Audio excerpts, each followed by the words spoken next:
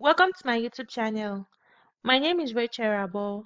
I'm a Microsoft Power Platform developer and a Dynamics 365 CRM developer.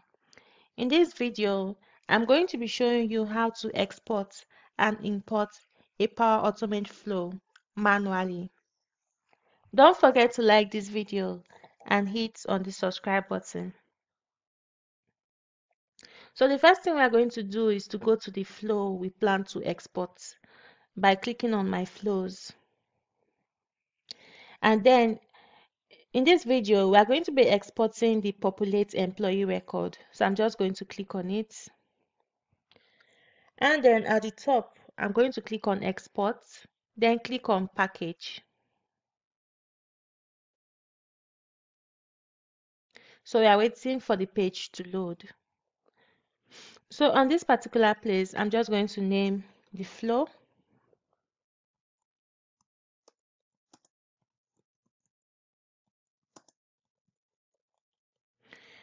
There's no need for this. This is optional. And then we are going to scroll down to where we have our review package content.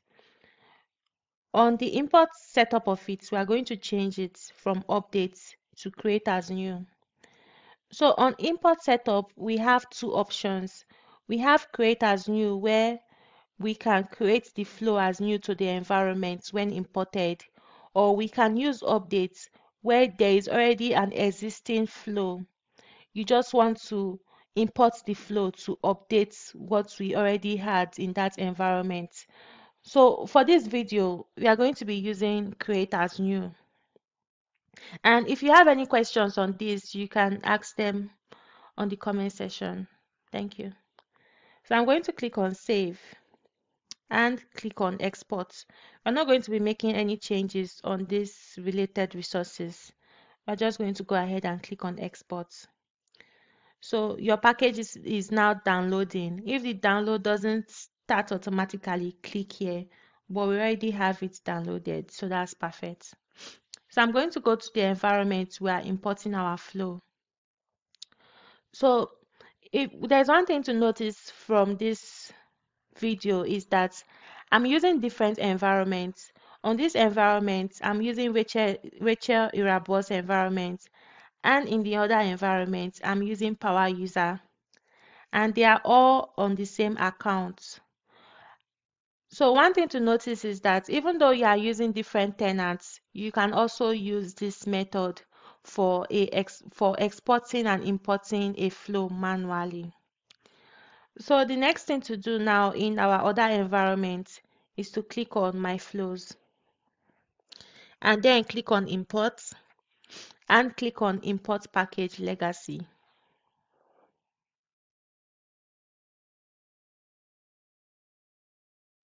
So I'm going to click on upload. Click on this, then click on open. So we are waiting for it to load.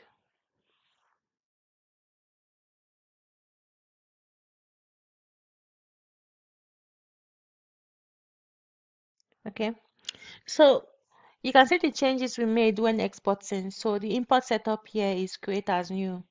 So when we scroll down, we have like an error notification here.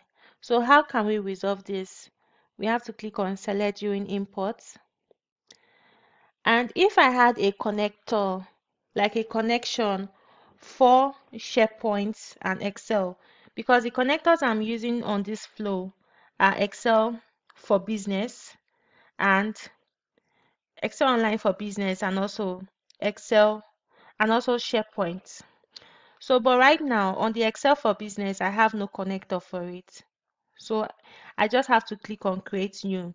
But if I did, I just had to click on it here and then click on save. So let's make changes to that.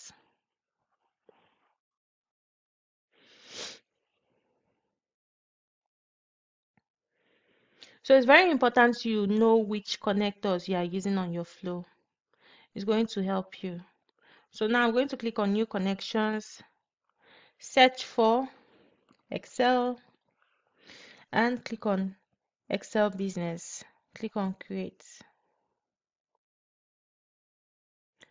So the next thing it's going to do is to ask me to sign in. Okay. So the connection has been added. So let's go back to our flow and refresh the list. So you can see this is showing now. If I had this already, I did not have to go to create new. So I'm going to click on it now and click on save. We are going to be doing it for the next connection, which is the SharePoint connection. So if you have forgotten what connection you are using, you can see them here on your resource type. So now we are going to click on select during import, click on create new.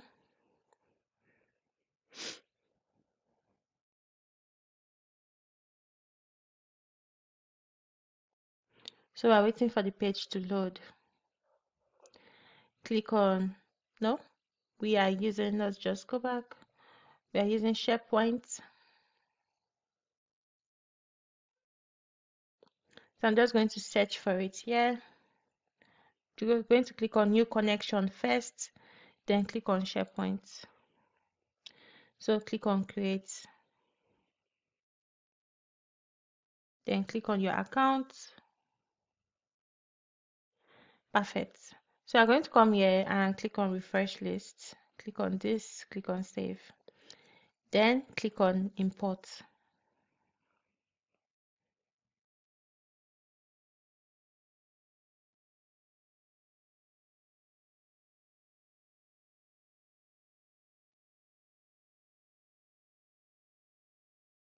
Okay, so we're waiting for it to import. Let's scroll up.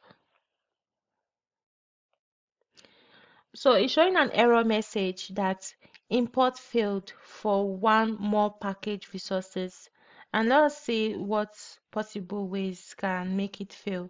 So next steps, one or more resources didn't import, see the error details to resolve the issues and try importing again. One or more resources might have been skipped during the import. See the import details to find out which resources were created, updated, or skipped. Okay, so another thing is that import failed.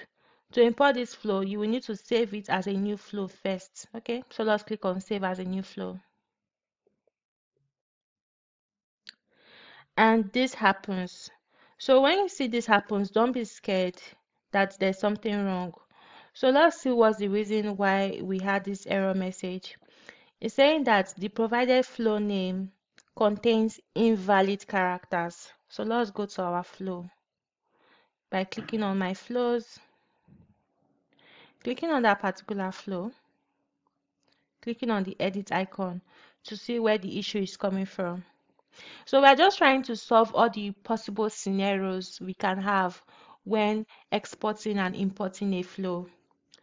So we are going to click on Excel to see where the issue is coming from. It's definitely not coming from here. So we are going to scroll down click on create item. Okay so where is this issue coming from that we are having an error? So let's click on save. When we click on save it's showing that the definition contains invalid parameters which is the same thing we had in our error message here. So let's come back to the flow and resolve it.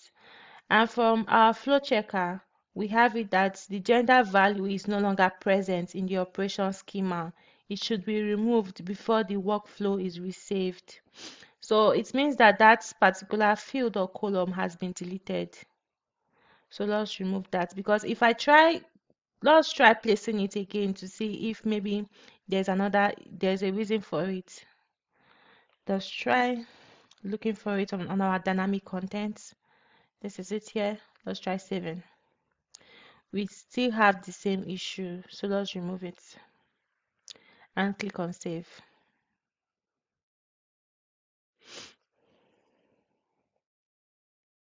So our flow is saving. Perfect. So let's try to clear everything we have here just to make it easier for us to navigate. So the, what is going to happen now is that we have to export the flow again so I'm going to click on this back icon, click on export, click on package. Okay, So let's go ahead and repeat the same step we did for the exporting by giving it a name, which is populate employee record. And then we have to scroll down and change this import setup from update to create as new. Click on save and then click on export. So we have it here. So let's open another Power Automate page. So you can see from this place, your package is now downloading. If the download doesn't start automatically, click here. So we're already seen that it has downloaded. So we are going to come to this place, which is for our power user environment. So don't forget, we have different, we are using different environments. This is Rachel Irabor's environment, and this is power users environment. So we are going to go to my flows, click on imports, click on import package legacy.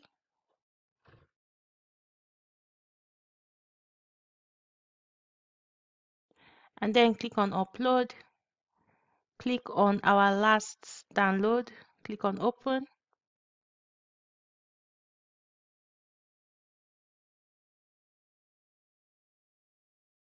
Okay, so we are waiting for it.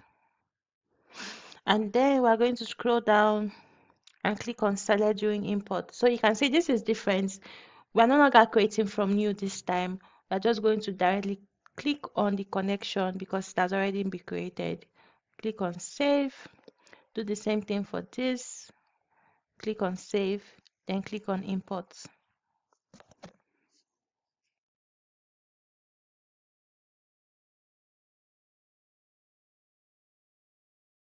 So we are waiting for it. So you can see all package resources was successfully imported. The flow has been created successfully. Run the flow to make sure it's working, which is perfect. So you can see the error message we had before, we no longer have it right now because the error was coming from the flow, which we have fixed. So now let's click on open flow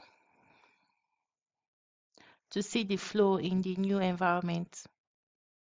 So you can see from this place, we are on the power users environment, and this is the flow that we have created. So if you can see from this Power Automate, we have our Copilot charts at the right hand side of the screen.